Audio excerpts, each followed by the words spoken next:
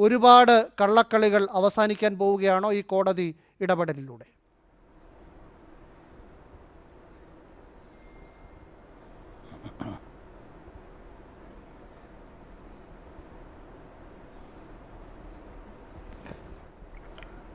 ആ ബിനു ഇതിൽ നമ്മൾ ശ്രദ്ധിക്കേണ്ട കാര്യമെന്ന് പറഞ്ഞാൽ ഇതിൽ ഒരുപാട് ദുരൂഹതകളുണ്ട് കേട്ടോ. ഇല്ലയെന്ന് പറയാൻ പറ്റുന്നില്ല. ഒന്ന് അത് എനിക്കറിയാൻ വയ്യാത്ത ഒരു കാര്യം. ഞാനിത് ഇത് ഫോളോ ചെയ്തപ്പോൾ ഈ എങ്ങനെ ഈ കുട്ടി കുഞ്ഞ് ഈ ഈ പെൺകുട്ടിയുടെ മാതാപിതാക്കളുടെ ആയി പോയി എന്നുള്ളത് എനിക്കറിയില്ല. അത് അതിനെ അവരെ ഏൽപ്പിച്ചു താൽക്കാലികമായി ഏൽപ്പിച്ചു എന്നൊക്കെ പറയപ്പെടുന്നു. എന്തുവാ? താൽക്കാലികമായിട്ട് സംരക്ഷിക്കാൻ ഇതിനെക്കൊണ്ട് കൊണ്ട് പറ്റുകയില്ലെന്നുണ്ടെങ്കിൽ അതിന്റെ അച്ഛനും അമ്മയും ഏൽപ്പിച്ചതായിരിക്കാം. എനിക്കിനി അതിനെക്കുറിച്ച് എനിക്ക് അറിഞ്ഞൂടെ എന്താ കാര്യമെന്ന്. അപ്പോൾ അന്ന് ഇത് ഈ കുഞ്ഞിന് വേണ്ടിയൊന്നും വലിയ മുറവിളി വന്നില്ല. പക്ഷേ ഇപ്പോൾ യഥാർത്ഥത്തിൽ ഒരു അമ്മയുടെ ഒരു വിലാപമാണത്. കാരണം അമ്മയ്ക്ക് ഏറ്റവും വലിയ അവകാശമാണല്ലോ കുഞ്ഞിനെ അമ്മയ്ക്കാണല്ലോ അവകാശം. അത് കഴിഞ്ഞേ ഉള്ളൂ അച്ഛനും ഒക്കെ ഉള്ള അവകാശം വരുന്നത്. അതുപോലെ ആ കുഞ്ഞിന്റെയും റൈറ്റ് അല്ലേ ഇവിടെ ലംഘിക്കപ്പെടുന്നത്? അതിന്റെ യഥാർത്ഥ ബയോളജിക്കൽ മദറിൽ നിന്ന് അത് ജീവിച്ചിരിക്കുമ്പോൾ ആ കുഞ്ഞിനെ അടർത്തി മാറ്റുകയാണ്. ഏറ്റവും വലിയ തെറ്റാണ് ചെയ്തേക്കുന്നത് ഇതിനകത്ത്. ഇതിനകത്ത് സർക്കാർ ഏജൻസികൾക്ക് ഇത് അറിയാൻ വയ്യാതൊന്നുമല്ല കേട്ടോ. കാരണം ഇത് രാഷ്ട്രീയം ഉണ്ടെന്നുണ്ടെങ്കിൽ എന്തും ആവാം. അതാണ്.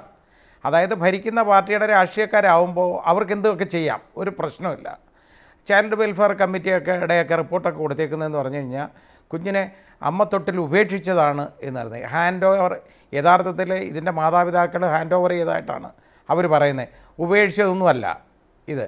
ആ രീതിയിലുള്ള കള്ളത്തരങ്ങൾ മുഴുവൻ ഇതിനകത്ത് കാണിച്ചിട്ടുണ്ട്.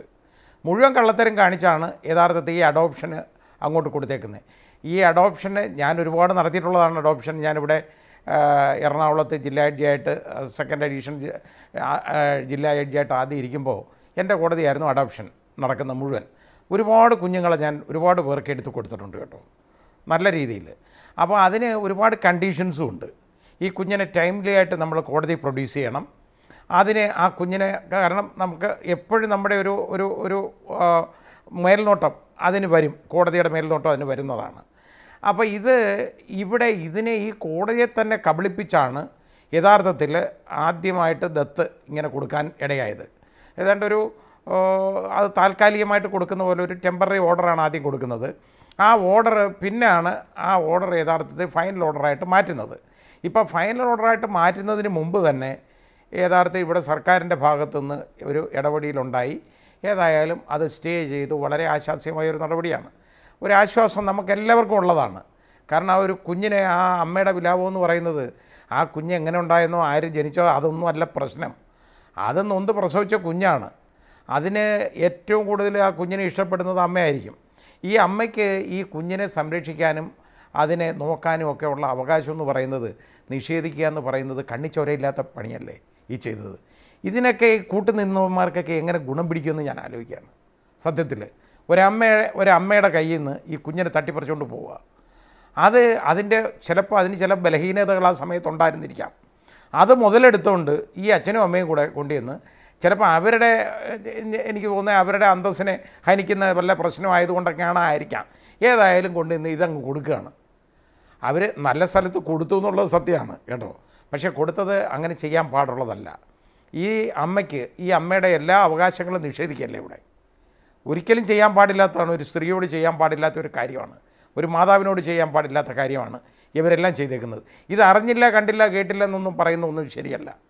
അത് നമുക്ക് വിശ്വസിക്കാൻ ഒക്കുന്ന കാര്യവുമല്ല. ഇവരൊക്കെ ഇത് അറിഞ്ഞുകൊണ്ട് തന്നെയാണ്.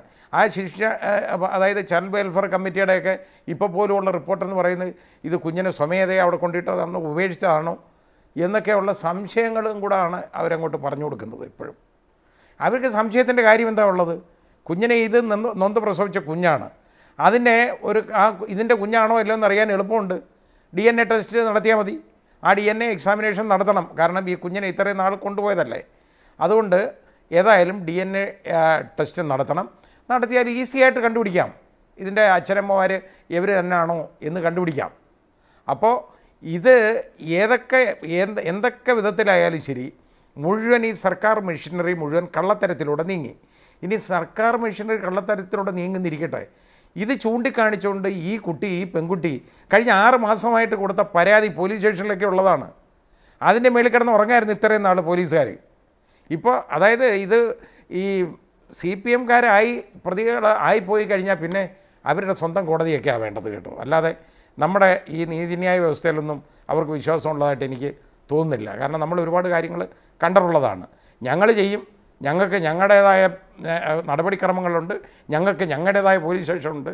ഞങ്ങൾക്ക് ഞങ്ങളുടേതായ കോടതിയുണ്ട് എന്ന് പറയുന്ന ആളുകൾ നമ്മൾ കണ്ടിട്ടുള്ളതാണ്. അല്ലേ? അല്ലെങ്കിൽ പോയി പണി നോക്ക് എന്ന് പറയുന്ന ആളുകളെയും നമ്മൾ കണ്ടിട്ടുള്ളതാണ്.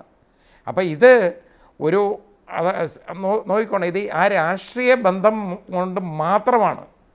ആ രാഷ്ട്രീയമായ ഇടപെടലുകൾ കൊണ്ട് മാത്രമാണ് ഈ അമ്മയ്ക്ക് ഇതുവരെ നീതി നിഷേധിക്കപ്പെട്ടു എന്നുള്ളത് നമുക്ക് വ്യക്തമാണ്. പിന്നെ പോലീസുകാരുടെ കാര്യം. അത് പറയാതിരിക്കുകയാണല്ലോ കാര്യം. കാരണം ഇവിടെ എന്തെങ്കിലും നടക്കുമോ പോലീസ് സ്റ്റേഷനിൽ ഒരു പരാതി കൊണ്ട് കൊടുക്കുന്നു. ആ കുട്ടി പരാതി കൊണ്ട് കൊടുത്തതാണ്. അത് അമ്മ കുഞ്ഞിന് ചോദിച്ചുകൊണ്ട് കൊടുക്കുന്ന പരാതിയാണ്. അപ്പോൾ അതിന് ഇത്രത്തോളം ഗൗരവമേ ഇവരൊക്കെ കൊടുക്കുന്നുള്ളൂ എന്ന് എന്നുള്ളതെന്ന് പറയുന്ന വളരെ ദുഃഖകരമായ ഒരു സാഹചര്യമല്ലേ നമ്മുടെ നാട്ടിൽ നിലനിൽക്കുന്നത്? ഇതൊക്കെയാണ് നമ്മുടെ സംസ്ഥാനത്ത് നടന്നുകൊണ്ടിരിക്കുന്നത്. ഇപ്പോൾ പോലീസിനെ ഭരിക്കുന്ന ആരാണെന്ന് ചോദിച്ചു കഴിഞ്ഞാൽ എന്റെ അടുത്ത് സത്യത്തിൽ ഈ അടുത്ത സമയത്ത് ഒരു പോലീസ് ഉദ്യോഗസ്ഥൻ എന്നെ കാണാൻ വന്നു. കാണാൻ വന്നിട്ട് അയാൾ പറഞ്ഞത് രണ്ട് പേരാണ് കേരള പോലീസിനെ ഭരിച്ചുകൊണ്ടിരിക്കുന്നത് ഒന്ന് ഇവിടുന്ന് നേരത്തെ ഈ റിട്ടയർ ചെയ്ത് പോയെങ്കിലും ഇവിടെ പിടിച്ചിരിക്കുന്ന ബഹ്റയുണ്ടല്ലോ മോഹൻസന്റെ അവിടെ കസേര കയറിയിരുന്ന സിംഹാസനത്തിൽ ഇരുന്ന ആൾ അയാളും പിന്നെ ശ്രീവാസ്തവയാണ് ഭരിക്കുന്നത്. ഇതാണ് കാര്യം. അപ്പോൾ പോലീസുകാരുടെ ഇടയിലുള്ള അഭിപ്രായമാണ്. അവർക്ക് വളരെ അതൃപ്തിയുണ്ട് പോലീസ് സേനയ്ക്ക് ഇതിൽ അത് എന്റെ അടുത്ത് വന്ന ഉദ്യോഗസ്ഥനെ ഞാൻ എനിക്ക് പേര് പറയുന്നില്ല. കാരണം പറയാൻ പോയി കഴിഞ്ഞാൽ ഇനി അയാളെ ഉപദ്രവിക്കാൻ നടക്കും. ആ അയാൾ നല്ലൊരു കാര്യം ചെയ്തപ്പോൾ അയാൾ ഇപ്പോൾ സസ്പെൻഷനിലാണ് അയാളാണ്. അയാൾ ഇരിക്കുകയാണ്. അയാൾ വന്ന് എന്റെ അടുത്ത് സങ്കടം പറയാൻ വന്നതാണ് വന്നിട്ട് അയാൾ പറഞ്ഞ ഒരു കാര്യമാണ് ഞാൻ പറഞ്ഞ്. അപ്പോൾ ഇവർ ഭരിക്കുമ്പോൾ ഇവർ ചോദിക്കുമ്പോൾ കാര്യങ്ങൾ ഈ രീതിയിലേക്ക് പോവുള്ളൂ. ഇവരുടെ നിർദ്ദേശം അനുസരിച്ച് ഈ പോലീസ് സേനയെ ഭരിക്കുമ്പോൾ ആ ഭരിക്കപ്പെടുമ്പോൾ ഇങ്ങനെയൊക്കെ കാര്യങ്ങൾ പോവുള്ളൂ. അതല്ലാതെ തന്നെ വ്യത്യാസമൊന്നുമില്ല. ഇവിടെ അത് ഇത് അഭിലാഷം ഇവരെല്ലാം ഇത് കേട്ടോണ്ടിരിക്കുന്ന കണ്ടുകൊണ്ടിരിക്കുന്ന ധാരാളം കാര്യങ്ങളല്ലേ ഇവിടെ നമ്മുടെ നാട്ടിൽ നടക്കുന്നത് ഇതുപോലുള്ള അനീതി.